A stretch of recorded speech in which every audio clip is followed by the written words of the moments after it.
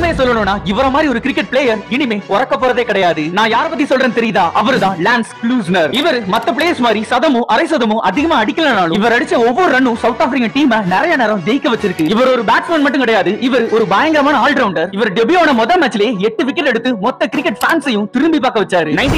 south Africa versus Australia world cup semifinal மேட்ச எந்த cricket ஃபேனும் மறந்துருக்க மாட்டாங்க அந்த மேட்ச சவுத் ஆப்பிரிக்கா ஜெயிக்க கடைசி ஓவர்ல ஆறு பந்துல ஒன்பது ரன் தேவைப்படும் ஆஸ்திரேலியா ஜெயிக்க ஒரே ஒரு விக்கெட் மட்டும் தான் தேவைப்படும் ஸ்ட்ரைக்கில் நின்று கிளூஸ்னர் முத ரெண்டு பந்திலையும் பவுண்டரி அடிச்சு ஆஸ்திரேலியன் பவுலரை மிரள விடுவாரு மூணாவது பந்தில கிளூஸ்னர் தட்டி விட்டு ஓட நினைக்கும் போது அந்த பக்கம் நின்று இருந்த டொனால்ட் ஒழுங்கா ரன் ஓடாம ரன் அவுட் ஆயிடுவாரு கடைசியா சவுத் ஆப்பிரிக்கா ஜெயிக்க வேண்டிய மேட்ச் சமண்ண முடியும் அதுல ஒரு சோகமான விஷயம் என்னன்னா ரன் ரேட் அடிப்படையில ஆஸ்திரேலியா பைனலுக்கு போயிருவாங்க